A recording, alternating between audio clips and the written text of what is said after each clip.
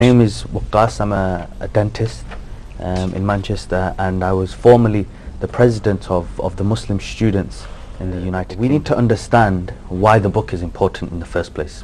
Right. Um, the wider community has almost 1,000 years of missing history from 600 AD to 1600 AD, which are generally called the Dark Ages.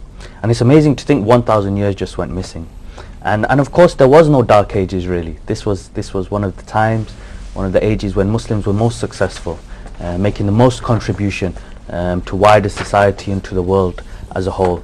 Really, it's our job um, to allow people to understand the contribution that was made because only when we understand where we've come from or our history can we work towards the future and now in these somewhat troubled times contributions were made by Yes. us in the past how did we contribute to wider society because this contributes to com- community cohesion so our neighbors will understand how we were how we were living how we were working um, so really I, I, I personally think that the job of the book is not just to, to have the book necessarily only in, in the universities and in the libraries, but really to flood the wider community with this knowledge, with this understanding. Because the work of people like um, Da Vinci, um, you know, everyone knows this name, um, but, but was built on the great work done by his predecessors, the people who went before him. Um, and so it's our job to, to remind people because sometimes they have this amnesia. Kabhi kabhi bhul jate na, um, you know, what, what happened before how things were done uh, before, the contributions that were made Yes. by, by Ibn Khaldun, by um, Kindi, by Ibn Battuta, um, by, by many people, by many people in the past. It's, you know, it's, it's, it's our job to remind them so that the names of, of, of our great thinkers and scholars of the past go side by side with um, Da Vinci and Michelangelo and hospital system Yes. um, that we see today was was inspired by the Muslims. By the the book shows it very nicely. The whole the whole hospital system um, and how hospitals were were were absolutely crucial at that time. In fact, the modern day NHS that we see today um, was inspired by the Muslims to have free healthcare, um, which is an amazing concept that every single person, regardless of of, of wealth, age, or creed, can have um, free healthcare in, in, in this country I think is an absolutely amazing idea, an absolutely amazing concept. Um, even even things like the the stitch that we that we Yes. see today, that, that we use day by day, um, was it, a contribution. it belong to your profession. Absolutely, Yes. the the or, oral health care, um, Yes. things like the the miswak and thing and things of that order, Brush, all inspired by the Muslims. How long ago were we talking about about oral health care? So so I think everyone, if they really looked and, and made an effort, would really see that just scratch below the surface and, and the information is there for you. This is a great tool, an amazing tool. You know, there's, there's things like the website which which which are contributing to these um, projects. But really, we need to you know flood it so so people understand that you know the vast contri- contribution not only made by the you know Judeo-Christian um, individuals and contributors to society, but that, that our society today is built on you know the Judeo-Muslim Christian um, standing. Science and technology today is very important, but also the social welfare and the system, the socio-political system that we have is also very important. One is the child benefit, that every woman who is with baby benefits today. This child benefit story originated from the time of the second caliph, Umar ibn al-Khattab, radiallahu anhu.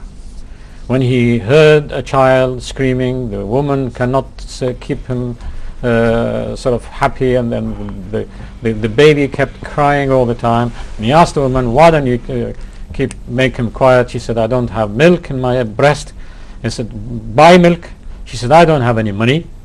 And he then said, by God, from now on, the treasury, that means the money from the government, will pay for every woman who brings a child. So the child will get. But then later on, he said that the woman should also, as soon as she becomes pregnant, she has a salary from the treasury. So that, that is a very important issue. The second one is the, what we enjoy today as the uh, old age pension. When we get old, like I'm now getting, we, we get money from the uh, pension. But this is m- money and our, our own money we save with the government, uh, right, and, and with insurance, and then we get paid after we are 65. But original history of this, people not aware, is also with Umar ibn al-Khattab. He once was uh, uh, in the street as a caliph, that means the head of state. He saw a Jewish old person And this Jewish old person was begging in, in Medina. He said, why are you begging? It's not right. He says, well, well, I have got nothing. He said, so Umar said, uh, oh my, my God, may Allah forgive us. Though you are a young, when you were a young Jew, we used you and we used your intelligence and your muscles and your youth. Now when you are old, we have abandoned you. Then he went back and he made a decision by the government that every old person when he reaches that age will get a salary from the state. This is not the salary, the pension that he had, not like our pension today. Like Because- social security? Yeah, the social security today is using our own money Right. that you save yourself. You pay national insurance contributions. In the time of Umar, it was very advanced, very socialistic type system. And the Labour Party should think that Umar is their established, uh, you know, the most important historical role model for them, because he has set up this, and he has taken money from the government treasury to give to the old people. Imagine Muslim and non-Muslim. This one was a Jewish person. The third one is in the time of Ali.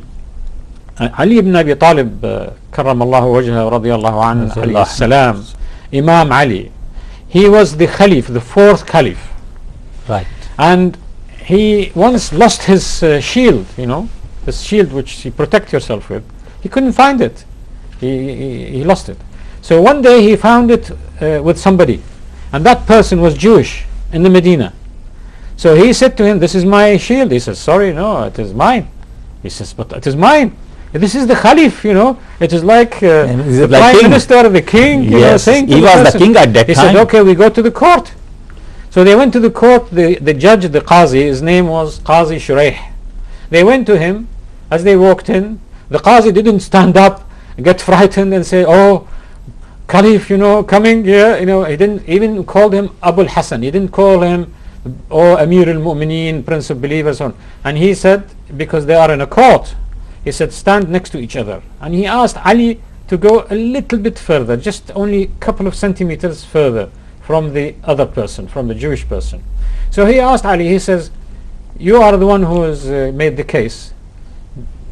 What is the case? Is I, I, my, he's got my, my shield. So he said to him, have any proof? He said, no, I can bring my sons, Hassan, Hussein, to te- testify. He said, sorry, in Islam, testimony of children is not allowed.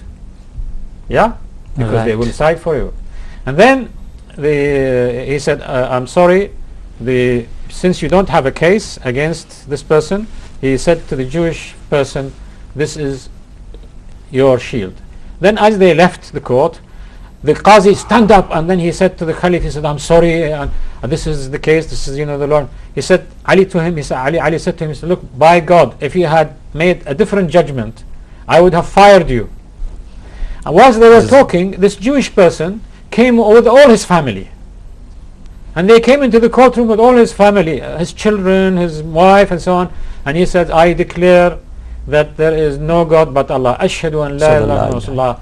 The shield is actually for Ali, but I wanted to test the justice system in Islam. So these incidents from the Muslim heritage, when you find, these are role models. It tells us that early in Islam, early the Muslims have woken to the fact that the importance of separating the judicial system, the legal system, from the government and the political system. This is a very important contribution. Unfortunately, Muslims now don't do that. The Western societies in England, which is the most, you know, uh, respecting uh, uh, uh, nation to the law and the legal system, the judge can can go to the prime minister and bring him to court, right? And the people will defend the judge and not the prime minister. So these issues, I think, are extremely important to learn about the social justice, and these are new things. There's also last uh, Saturday somebody asked about the financial system, and you asked me about zakah. But the financial system, there are many systems in the world that we use today. They originally come from uh, the Muslim contributions, like the check, like the insurance, like the uh, the idea of destroying inflation.